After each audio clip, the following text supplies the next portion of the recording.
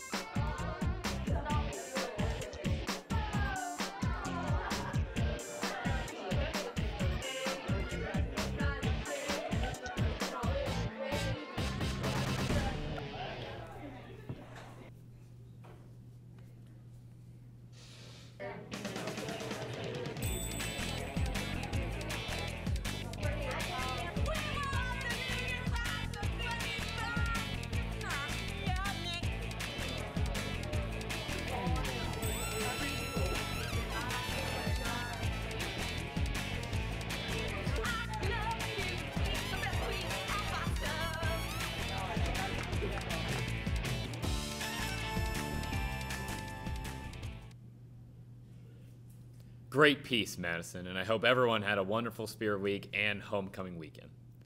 Student volunteers are needed to work the concession stand for the upcoming upper school play, The Imaginary Invalid. Two helpers per shift are needed for Thursday, February 28th, Friday, March the 1st, and Saturday, March 2nd. The play begins at 7 p.m., but you would only be needed just before and during intermission. If you are interested, please see Susan Depew at the below email address.